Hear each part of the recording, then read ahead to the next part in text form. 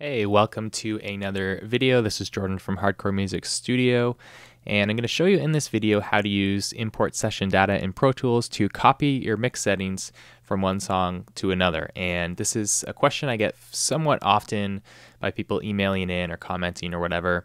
And they're asking, you know, if I'm mixing a whole album or just really just more than one song with, you know, that's all been tracked to the same, it's going to end up on the same project in the end and you basically want the same starting point for each mix.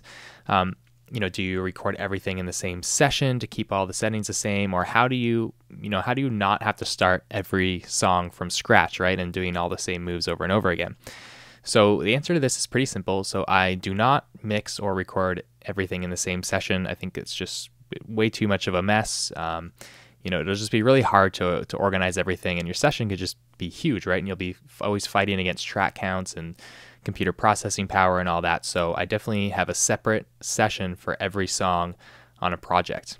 Now, when it comes to mixing, what I'll do is I'll mix the first song, you know, whatever song I'm working on first, from start to finish, basically, like completely. And then I will use the import session data function to import all of those plugin chains, plugin settings, volume settings, almost everything into the next song. But then there's a few little tweaks I do after that, you know, to, to make this not be more of a hassle than not um, because you know with if it's copying automation and stuff it can make things a little more difficult. Um, but i'm going to show you exactly how i do it. So let's just check out a song that i've got here. The artist here is uh, named nick johnston great guitar player writes some some great stuff here. So let's just check out a little section here just to to show you what the finished mix is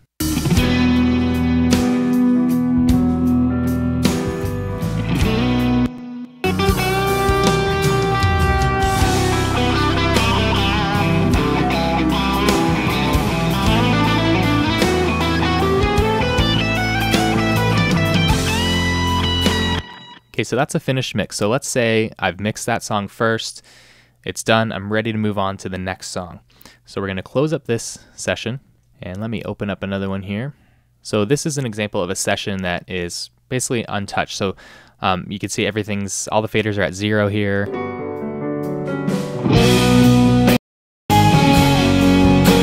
Some things are panned, but basically everything's at zero. There's no plugins or anything here. Now the key to doing this effectively is before you actually import all your settings is you need to make sure you organize and name your tracks. So if your tracks aren't named the same from session to session, then they're not going to copy over properly as you'll see. So before I import all the session data, first I'll go through and clean up. You can see how, you know, everything's raw here but it's all named clearly. You know, kick, snare top, snare bottom, toms, etc. Bass DI. You know, everything is basically pared down to how I had it in the initial mix, and I've used the same track names, and that's going to be crucial here. But once you get that together, what you're going to do is on a Mac, it's um, Option Shift I, which brings in up a, menu here or a dialog that says Choose File to import session data from. And you can also find this in File, Import Session Data. So I'm going to go to the session I was just in, which is this one right here. Double click it. So this is the import session data dialog box. So most of this stuff you don't have to worry about unless you know you're kind of working across different things with different sample rates or whatever, but we won't get into that. But there's some settings here that you want to pay attention to for sure. So this is a different song, so we do not want to import the tempo um, I don't import any of that stuff because this is all you know things that are very specific to each song, right? So what we're going to do is hit match tracks. So that's automatically going to find tracks that have the same or similar name in the old session to the new one, and it's going to copy all the settings over that we choose onto those tracks. In the old session, or sorry, in the finished mix session, we also had tracks that were created. So we've got like a kick sample track, a kick trigger track that aren't in this new one. So I'm going to bring those in as well. So you can see that the kick track, it's matching to the same track named kick in this section. Kick trigger, same thing. D4 kick, that's a sample I'm using, and I haven't laid in samples in this one yet, so I'm gonna import that track so I have that empty track to put the sample in. We got a VCA track that I'm gonna import. We've got another snare sample, a snare VCA, some snare reverbs that I'm gonna import in as new tracks. You can see our toms are all matched up here. Here's a mismatch here. You see I've named it HH in the old session, right? And it's not matched up to anything. So make sure you take notice of that. You've got the track called Hats here on this session. So that's just a, a name, a track naming thing that I mi missed. So I'll just match that HH to the hats track. overheads, ride, room. So you just go through this quickly, import the tracks that are relevant. So my drum aux tracks, you know, I've got a parallel compression track called Crush and a drum bus. Um, so we're going to import those in. Let's keep going here. So you can see some some tracks in the session I'm importing from do not exist in this one, like a tambourine track. There's no tambourine in the song, so we don't bring that in. There's no radio clip, stuff like that. The bass we do bring in, and we're going to bring in our bass aux as well. The acoustics are all matching up by name there, so we'll bring those in, and the acoustic guitar aux. Same with all the rhythm guitars here. Now, for the leads and everything, you know, it's trying to match some tracks here that are just not relevant. Um, these are just kind of extra lead tracks that exist in the old session, but not in this one. So we're not going to bring those in. And same with this solo. Like I want, I don't want to copy the solo settings from song to song because you know I want to feel those out and mix it uniquely um, for each song. So I'm not going to copy in the the solos. The piano I am definitely going to copy in. And then there's some just um, some other ambient tracks here that don't exist in this song. So we're going to ignore those. And then we're going to bring in all of our reverb returns here as new tracks. And we're going to match our master to the master track and we're going to bring in a print track as well. So basically you don't have to import like every single track. Like there's some that I want to keep the same. So drums, bass, rhythm guitars, and like lead vocals and background vocals. I will usually import all the data from. When it comes to extra layers like synths, certain lead guitars, solos, extra stuff like that that is unique from song to song. I'm not going to bother importing those. I'm going to, you know, work with those in the session so that each, you know, each song has to have its own unique vibe. This is think of this as like the starting point. It's going to take a clear up a bunch of time of like just getting the mix back to that or up to that kind of initial starting point that you mix from. Now, we don't want to just hit OK right now. There's important settings here. So, main playlist options, the main playlist being the actual audio track that's on, or the actual audio file that's on the track, right? So replace existing playlist? No. We do not want to bring in the actual audio from that session. We just want to bring in the settings, right? And the routing and all that stuff, the mix settings, not the actual audio track because this is a different song.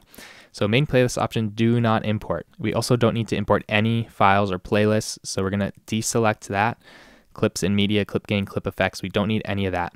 But look at everything else here. So from time to time you might do different things too. Like maybe you just need to import the plugin settings and nothing else or maybe you just need to import the sends wherever you're at in your mix. But from the starting point usually i'm importing everything here. So volume settings pan settings mute settings main output send outputs plugin assignments plugin settings and automation. Make sure if you're importing plugin settings you got to have both of these selected. Plugin assignments that's just to be the actual inserts on the track and then the settings and automation is the actual plugin settings that you've chosen in, inside that plugin. A bunch of different stuff here. Um, track colors, group. I import all that stuff. So 90% of the time, I'm just deselecting the actual media parts, the actual audio file imports, and I'm importing everything else. So let's go for it here. This might take a second as it's adding all the new tracks, bringing them all in. One plugin wasn't found, that's okay. All right, so now you can see, look at all our faders here. We've got the same balance on the faders as we had in the last mix, same panning, same outputs as well for everything that was matched. So from here, it's just kind of reorganizing stuff. So everything I imported is showing up here to the right of the session. So I want to put these in the proper order. So let's put all of our drum stuff. Let's drag these drum tracks back. Just try to do this real quick just to keep it clean for you. Here's our G4 kick. So we still have to lay in that sample here on this session, but we'll just leave it for now. Here's my snare sample. Here's my snare reverbs, which I like to have over here. My drum bus, my parallel compression. You can see these are all going up the drum bus, coming in here. I've got all of my sends here as well, and all my plugins have come over. Let's also bring over the bass aux right there, the acoustic guitar aux, and then all our reverb returns are at the end. Here's our print where we're going to monitor the track. And then there's just some tracks that we didn't match. So remember, some of them weren't relevant to match, and you'll see that those are still going out my output one and two, where everything else is going out my mix bus since I imported those. So I just make sure that I put those tracks at the mix bus that weren't imported.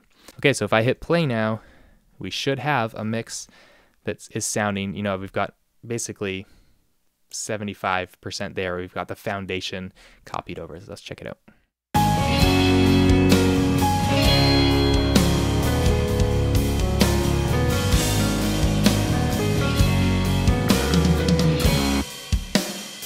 So we've got our drums. That's our mixed drum settings. Got our bass. Ah, one important key I forgot to do first here so you see that I've imported, kind of the side effect of importing all the volume settings is that you're also importing all of the automation here, which is obviously not unique to this song. So what we're gonna do, I'm just gonna zoom this out so I can see everything. I select the all group here. You switch to the volume view. So I'm gonna select all of the tracks, all of the automation. Now here's a handy tool here. You go to edit, clear special, all automation. So boom, plugin automation, volume automation, pan automation, everything gets deleted there. So now what you have is a clean slate to start this mix from, but you've got all of your, your basic core balance, like what I call the static mix. So you've got your plugin settings, your reverbs, your effects, your volume settings, the pans, um, all that stuff is set, but you've removed kind of all the extra stuff that's unique to this song being, you know, volume automation and stuff like that, and tracks that we still have to process, like the extra layers and solos that I've muted here. So let's check it out.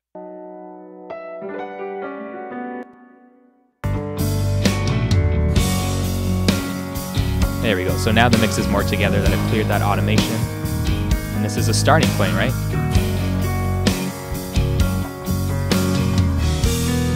So now I can continue mixing this song. So I can bring in, you know, this lead guitar track do what I want with that. I can adjust the balance start from this starting point. I can start doing some automation. I still got to put in my drum samples and everything there.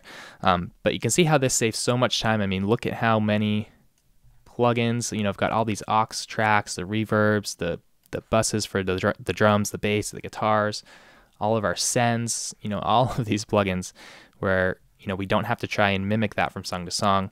You just use the import session data function to bring all that stuff into the next song in Pro Tools, clear out the automation, and then keep working on it. And by doing this, you can cut down a lot of time if you're mixing, you know, an EP or just multiple songs that all have the same source tones basically. For most records you want, you know, you want the drums to sound consistent from song to song if they're all recorded at the same time. But this is just a really uh, handy time saving trick. This will allow you, as you're working through a whole album, to mix multiple songs in a day because you're not starting totally from scratch all the time. So, just to recap, just make sure that you, uh, on the new mix session that you're bringing all the settings into, make sure that you cl- clean it up, organize it, name all the tracks the same.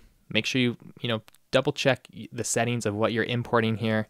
Um, you know, specifically you know, you don't want to import the playlist, you don't want to import the clips in the media. You just want the plugin settings and everything. So hopefully that clears up the question of, you know, how how do you import settings or copy settings from one song to another in order to mix faster, and not do the same thing over and over again. This is how I do it in Pro Tools using import session data. Hope you enjoyed this, guys. If you want more of these tips, definitely subscribe to the channel. And if you want more mixing, engineering, producing tricks, you know, I don't just talk about Pro Tools. Um, all my courses are geared towards any DAW. I've got hundreds and thousands of students and followers who use all different DAWs. You know, this these these Pro Tools YouTube tips are just for specific Pro Tools users because people enjoy it. But just know that my stuff, you know, my actual mixing tutorials and courses are not Pro Tools specific. They're they are useful for using any DAW out there. And uh, if you want to get more of that stuff, make sure you join my email list and download your free mixing cheat sheet at makebetterrecords.com. That's where all the best stuff is. You're going to get a ton of freebies by signing up there if you're not there already. All right, please share this with someone who uh, could need to see it. And otherwise, we'll see you again next time.